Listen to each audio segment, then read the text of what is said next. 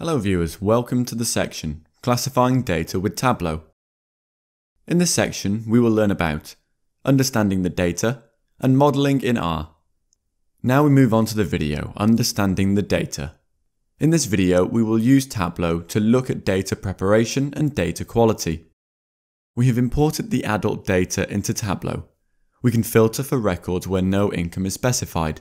For that, drag and drop the income dimension into the filters box.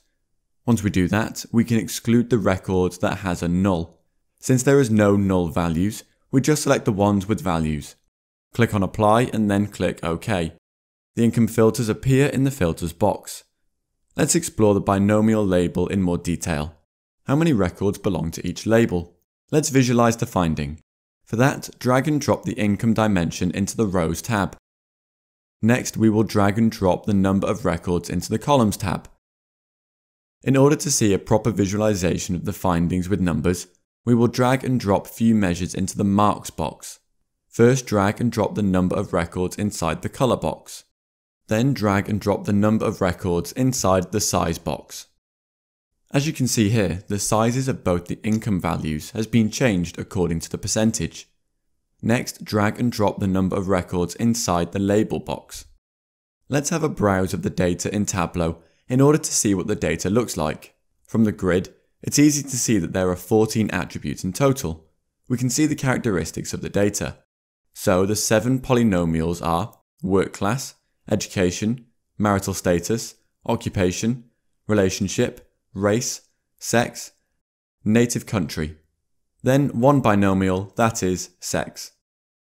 Age, final sampling weight, education number, capital gain, capital loss, hours per week are the six continuous attributes.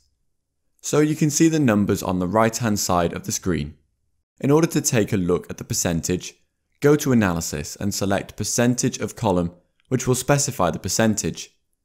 Here you can quickly see that 76% of the records in the dataset have a class label of greater than 50k, and 23.62% of the records in the dataset have a class label of less than 50k. On the right hand side of the screen, you can see the percentage box. Let's clear the sheet. Now we will look at the countries and the number of records for each country. For that, drag and drop the native country dimension into the rows tab. Next, drag and drop the number of records into the text box present under the marks. This gives us the number of records for each of the countries, which you can see here. Next, we will take a look at the percentage of records. For that, go to Analysis, choose Percentage of Column. Here you can see that the number of records have been changed to the percent values. From this chart, we can see that nearly 2% of the records are missing for one country. And the vast majority of individuals are from the United States. This means that we could consider the native country feature as a candidate for removal from the model creation because the lack of variation means that it isn't going to add anything interesting to the analysis. Further, we will visualize the race feature. Let's clear this screen. Now drag and drop the race dimension into the rows tab. As you can see, the races have appeared on the sheet. Next, drag and drop the number of records measure into the columns tab. You get the graph with the number of records for each race. To have a differentiation, let's put the records in colours drag and drop the race dimension into the colors box. Since in this graph you can only see the number of records, and we want to have a look at the percentage of records, go to analysis, choose percentage of column. So the number of records is displayed in percentage. The white value appears for 85% of overall cases. This means that it isn't likely to add much value to the predictor. Now we can look at the number of years that people spend in education. First, drag and drop the education number dimension into the columns tab. Then drag and drop the number of records into the rows tab. Drag and drop the race dimension into the filters box. Currently we will check all of them and then click apply and OK.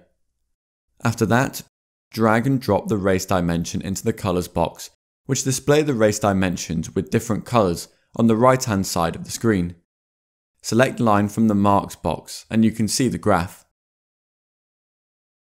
In the filters box, edit the current race filter, uncheck some of the data from it and click on apply and OK.